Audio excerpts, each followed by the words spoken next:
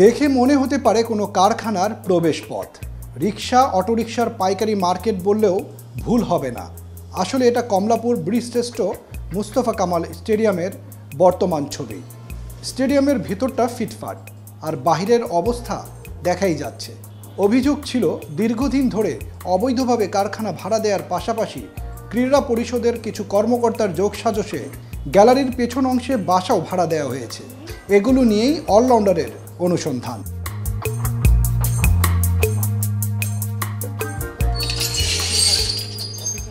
তিনতলায় ওঠার পর অভিযোগের সত্যতা মিলল। সরকারি মাল দরিয়ায় ঢাল। প্রচলিত বাগধারা বাস্তব। যে যার মতো বানিয়ে রেখেছেন কারখানা অথবা বাসা। এক কারখানার মালিক জানালেন, তিনি নাকি পরিত্যক্ত জায়গা পেয়েছেন, তাই কারখানা বানিয়ে বসে গেছেন। আবার কোনো এক ব্যক্তিকে ভাড়াও দিচ্ছেন ভাড়া নিতে হয় এটা তো পরিত্যক্ত জায়গা। এখানে তো কোনো মার্কেটে কোনো দোকান আসতেছে না। এখানে কেউ যদি দোকান নিত তাহলে সে না আপনার জায়গাটা দামি হতো কোনো লিখিত কোনো কেউ নাই কেউ এটার কোনো ভাড়াও কেউ এইভাবে নেয় না কোনো ইয়াও করে না। এমনি আর কি পরিত্যক্ত মতো রয়েছে। এক হাজার টাকা দিই।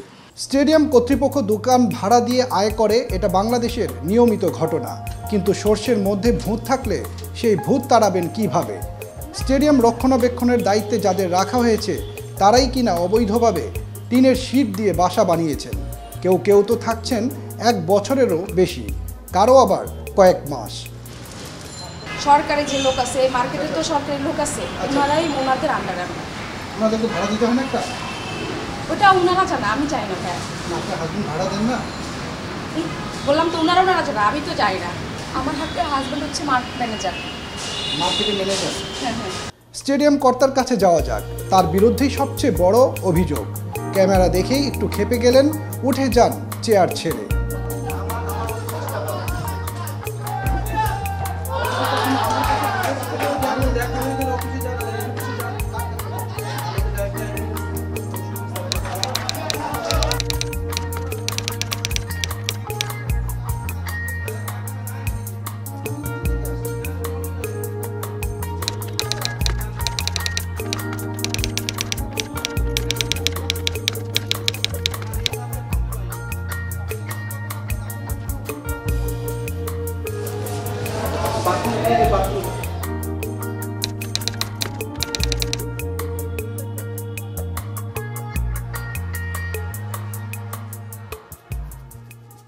এমন অভিযোগ আগেও ছিল স্টেডিয়াম প্রশাসকের বিরুদ্ধে।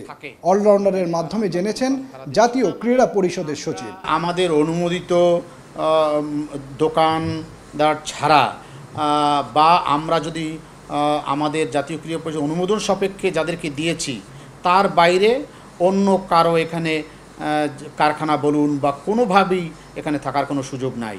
আমরা এই আপনার এই যে বিষয়টি বললেন এর আমরা অবশ্যই খতিয়ে দেখব এবং আমরা এটা তদন্ত করে আমরা এ বিষয়ে প্রয়োজনীয় ব্যবস্থা গ্রহণ করব।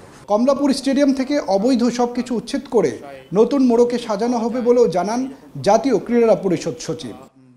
Arif Hussain, all rounder.